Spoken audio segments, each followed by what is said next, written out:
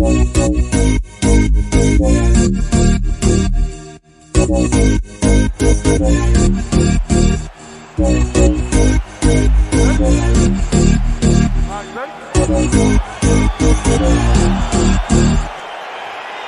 get this one started here. Round one is underway. And we've got a striker who is a force to be reckoned with. Tonight, though, he draws a guy who can do a little bit of everything. And that guy is usually the one that will have the advantage. But we know...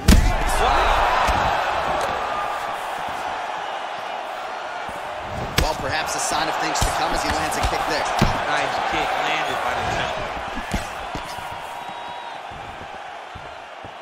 Well, he's got the reach advantage. You might as well use it. Nice job there to find a home for that jab. Lands the left punch now, followed by a right.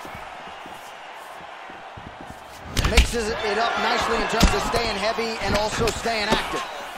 Effective punch there by Dawson. Looked like it did stun him a little bit. Dude's hurt. Serve him up. Go get him. Big knee there.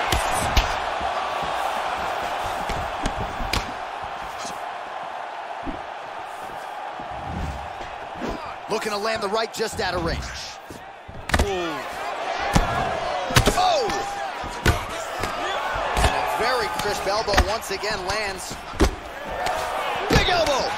Oh, huge elbow! What a to throw at Wow! And just like that, the fight is over. He got it. Yeah, that right there is a high-level knockout, ladies and gentlemen. Crowd absolutely loving it. Just a perfect shot to end the fight. Landed flush. I'm not even sure his opponent saw it coming. So a huge, huge win for that young fighter here tonight. Right, we'll take a look back at the highlights. You know we're going to find that now.